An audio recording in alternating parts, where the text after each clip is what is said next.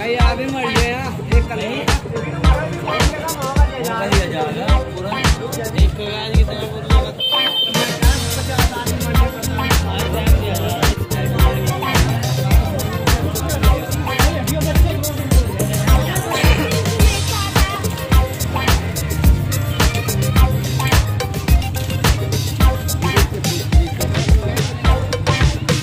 ज़्यादा गंदगी फैल रही है गंदगी से डेंगू हो रहा है। डेंगू से अभी हमारे परिवार में सत्रह वर्षीय बच्चा एक्सपायर हुआ है।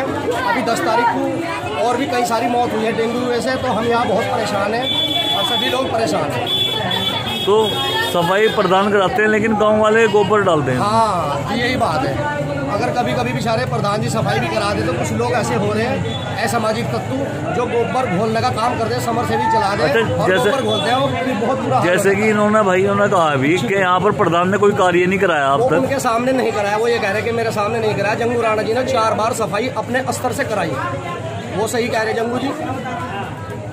सफ़ाई का मामला ये है कि हमारे गाँव में किसी भी प्रकार की कोई सफ़ाई नहीं है। और सफ़ाई न होने होने के कारण यहाँ पर बहुत ज़्यादा गंदगी हो रही है, गंदगी से डेंगू मच्छर हो रहे हैं और मच्छर होने से यहाँ पर कई लोग मर भी चुके हैं और मेरा खुद का बच्चा सत्रह अठारह साल का मोहम्मद कैब अभी दस तारीख में गुजरे हैं डेंगू बुखार से ही और बहुत सारे लोगों को यहाँ डेंगू बुखार हुआ है।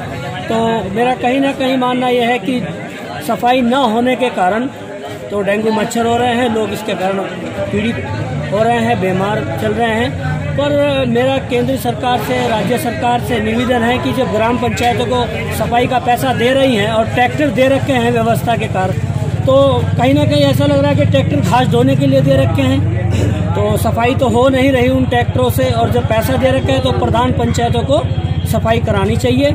ये मेरा उनसे निवेदन है। तो अब तक प्रधान ने कोई सफ़ाई नहीं कराई? अभी तक मेरे सामने कोई सफ़ाई नहीं हुई। जहाँ तक मैंने देखे एक दो बार तो ट्रैक्टरों को घास ले जाते हुए देखा। सफ़ाई होती तो मैंने अभी मेरे गाँव के दो चार गुड्डू चौधरी और और कई सारे इस तरह के जो है इन लोगों ने पैसे इकट्ठे किए। हम लोगों ने पैसे दिए। को आज तो सब लोगों ने पैसे दे करके सफ़ाई करवाने का काम अभी झोटा बुकी मंगवा रखी तीन चार मजदूर मंगवा रखे हैं।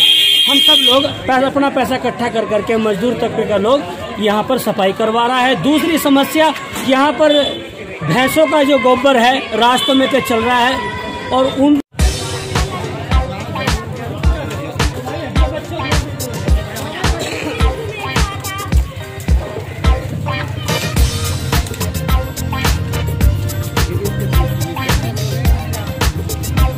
जंगू राणा।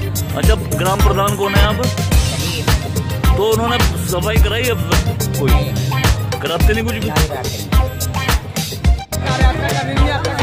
तो, तो कितने कितने साल हो गए लगभग सफ़ाई हुई? साल हो गए पूरे। तो प्रधान को ट्रैक्टर भी मिला हुआ है? सारा कोल लगा